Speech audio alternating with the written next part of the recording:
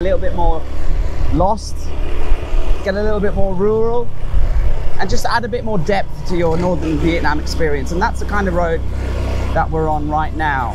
What you'll see driving along is kids like that with a stick. you'll go through lots of little villages where the road will become like a funnel and it becomes quite claustrophobic with people selling and a truck trying to get through and you can get stuck there for a few minutes. And then it's just lots of beautiful turns, incredible lush green mountains. And if you're lucky, like today, beautiful blue skies. And in each of these little towns, you can stop and get fried rice, some noodles, you know, a can of cold Coke and a bottle of water or some Red Bull. So it's not like you need to pack supplies. Every little village has a little place you can get some lunch or whatever you need. And the good thing about these country roads off the main loop